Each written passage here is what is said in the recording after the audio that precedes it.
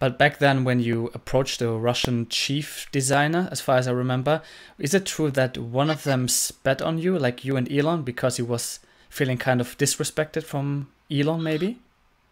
Yeah, the uh, it was the chief designer of a, a company called Machina Stroya. Now, all these all these companies are all state owned, and it's important to understand in the Russian aerospace industry, uh, rather than having a CEO like we do in the West, who's rather considered the leader of the organization. Mm-hmm. There, it's the chief designer. So this goes back, I guess, to the Soviet system, and uh, you know, any of these any of these groups were headed by a technical chief designer. So.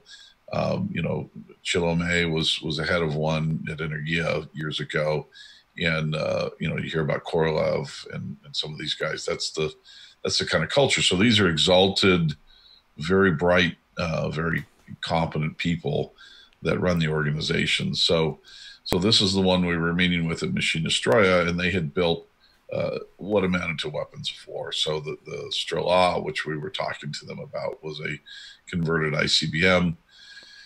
And I suspect that uh, this gentleman's frustration, I don't remember his name anymore, um, was uh, born both out of, you know, a recognition that nobody in the Soviet Union was really happy about what had happened when the Soviet Union came apart.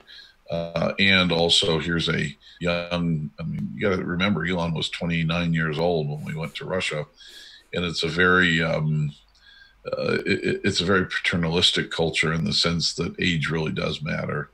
And, uh, you know, I was in my late 30s, early 40s, as I recall. And uh, let me see, it would have been uh, mid 30s, mid to late 30s. So, you know, I was still pretty young, but Elon was especially young, and he was the, the man with all the with all the money. So I, I really honestly believe um, that that uh, they just found this whole thing ridiculous.